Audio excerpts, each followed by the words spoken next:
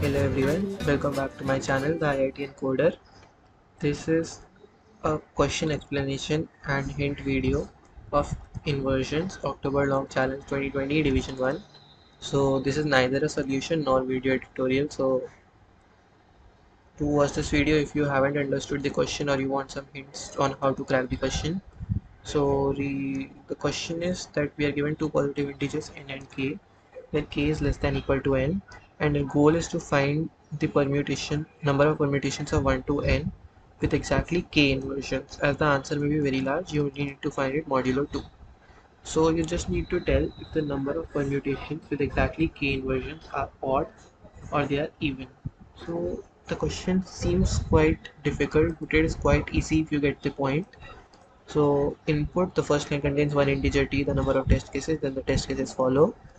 There are two integers n and k and for each test case you need to print one integer the number of permutations of n elements with k inversions modulo 2 so you can see there are various subtasks with different constraints like 200 you can use a on cube solution you can use a on square solution you can use a on solution you can use a on log n solution and you can use uh sorry on log n on and you can you have to use a o log n or a constant time solution this means that the problem can be done in a constant time or log n time with some pre-computation.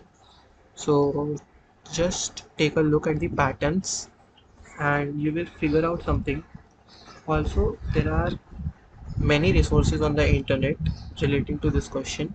Not exactly the same question, but like, uh, okay, I can't tell you that, but there is a series of numbers which relate to n and k with exactly k inversions. So find out the name of the series yourself but there exists a series.